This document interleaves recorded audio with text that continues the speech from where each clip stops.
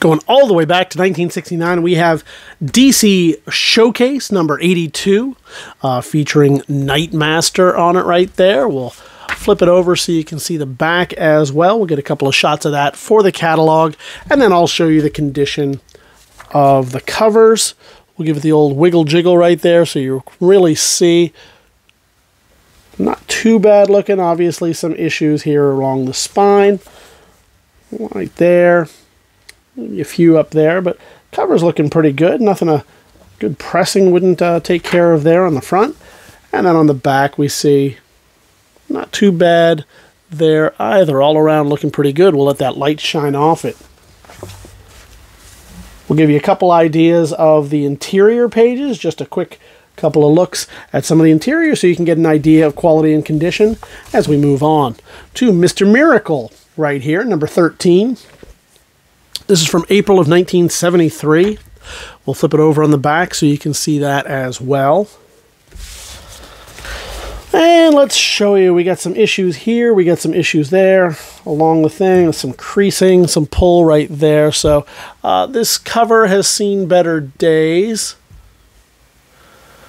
But the artwork still holds up nice. Mr. Miracle getting ready to escape there. Will he do it? Who knows? If anybody can, it's him. And then we'll show you right along here, we got a couple of quick photos of the quality and condition of the pages. We're moving on to some Blackhawk right here. This is Blackhawk number 149 going back to 1960. So 62 year old comic. Let's flip it over on the back. Ooh, I want to point this out so somebody's doing some some taxes on here. Uh, drawn some stuff. I think that was already on there, the Mickey Mantle and Joe Louis. And then uh, a little writing on the back cover. Other issues on that back cover as well. Front cover is not without its issues. Some paper loss on the bottom, a little bit on the top, some splitting. So this one's seen better days. But let's take a look at the inside. See, uh, yeah, it appears to be a pretty good, nice, readable copy. So if you're just looking to fill some holes in that collection, uh, this might be the way to do it that cover is is is barely on there, but it's it's on there. Um, the staples are present. We'll move on to some Hawk and Dove. Long before Liefeld got hold of it, you got this one. This is number 15 from 1969. Again, going back about 53 years now. These dark covers really let you see any of the, the nooks and crannies, any kind of damage issues, anything like that. So that's good. We get to see a little bit of creasing right here. I don't see much, if any, paper loss, but a little creasing. Nothing a, a good uh, pressing, I don't think would would do well. Some Gil Kane art on this one. And we'll show you a couple of uh, interior pages just so you get quality and condition idea of those. Superman's pal, Jimmy Olsen. This is number 111 from 1968 versus Elastalad and the ugly Superman. We'll flip it over on the back, and this is not a bad issue at all. Uh, still, I don't know if it's one that you'd send in to get graded. It's got some some significant flaws, including that might have been some some liquid dropped on it right there. I want to show you that if we can. Might have been a little bit of liquid. I'm not sure. Uh, the rest looking pretty fun. Not too, too bad a, a copy given its age.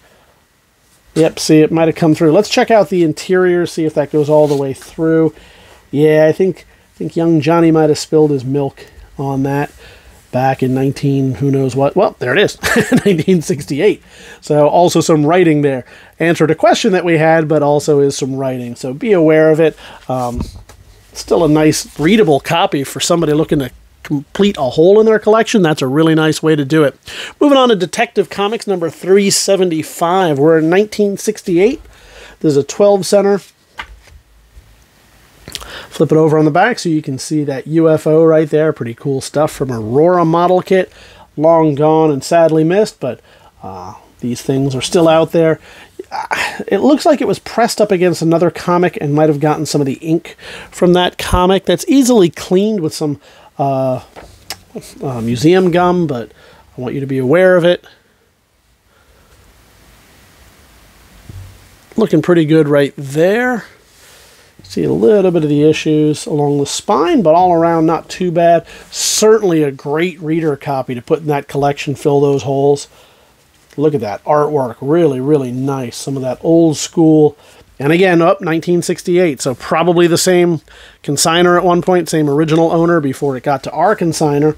Um, that's a shame if that kind of thing bothers you. Or you might see it as something really awesome if you think of that as the provenance, like I do. Doctor Strange, I'm sorry, not Doctor Strange, Strange Adventures featuring Deadman.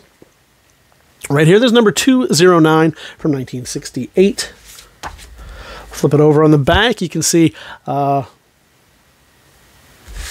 Get Smart with his shoe. Let's uh, see some of this.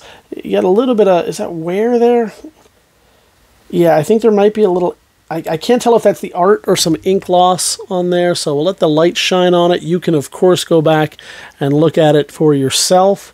I, I prefer you use your opinion as to ours, but I will give ours where we can. A little bit of issues right here and there. Not a bad one, all told other than that staple issue.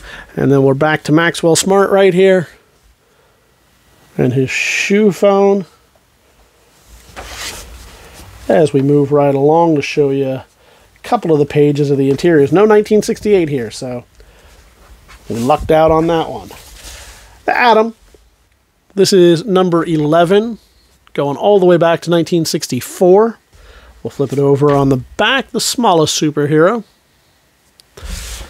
and we will show you. So big crease, color breaking down the front. That's a shame on something like this, but if you're just looking for a reader, this is a nice way to do it. Uh, that can be overlooked. It can still be pressed, but I think it breaks color. You can see it all the way here. And what would have happened back in the day is young Johnny would fold this up, put it in his back pocket, and head on out to the playground. Tell you what, I can't blame him. That's a fun way to do it. Um, comic books were exactly what they were supposed to be back then something fun to enjoy. Uh, they weren't to be collected, and certainly he did enjoy that. Adventure Comics, number 372, right here. Superboy's Crack Up. So this is a, a, first appearance, but a minor one. It's the first appearance of the Legion of uh, Super Villains in their teen form, so take for that what you will. Now, if you're a fan of such things, then you're definitely going to want this in just about any condition. But it's not a major key, it's a, a minor key. And that is going to do it for Adventure Comics.